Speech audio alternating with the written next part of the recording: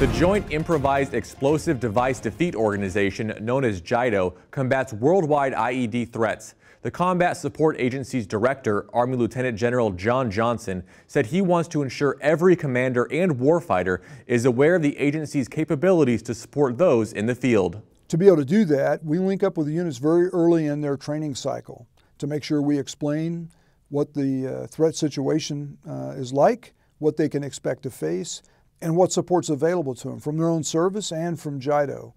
What is the state of the art of counter IED equipment, um, and which experts they can expect to be embedded with them as they go through their training and as they execute their mission. General Johnson added, JIEDDO experts include intelligence analysts, operational experts, and combat advisors.